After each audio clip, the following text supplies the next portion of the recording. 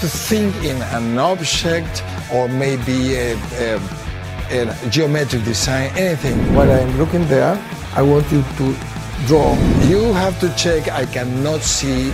I try to do it in laboratory conditions. And we cover with a piece of foil. It's impossible to see through.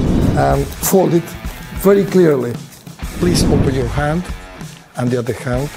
Put in your mind the maybe a geometric shape. Uh, don't tell me, you have to think. I can see one circle, but inside the circle, I can see like a cross. Yes? What did you draw? Star. A star, Yeah. like this one. Yes.